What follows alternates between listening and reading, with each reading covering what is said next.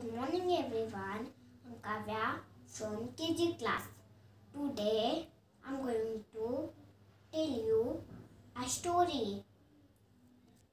The Forest Princess. In a big forest there lived many animals and a little princess named Mary.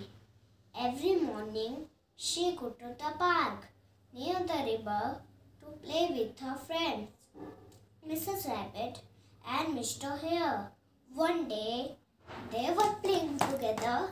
They were having so much fun that they lost track the time and it became dark. The little animals were afraid to go home alone. Princess Mary had an idea. She said, why don't you come home with me? When Mary and her friends reached her home, her parents invited them in. They gave them all the treats to take could eat.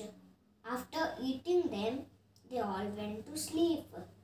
In the morning, it was the safe for the little animals to go home.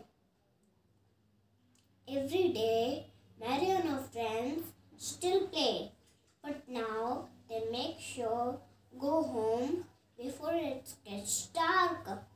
Moral of the story is we should always listen to what the elders say. Thank you. Have a nice day.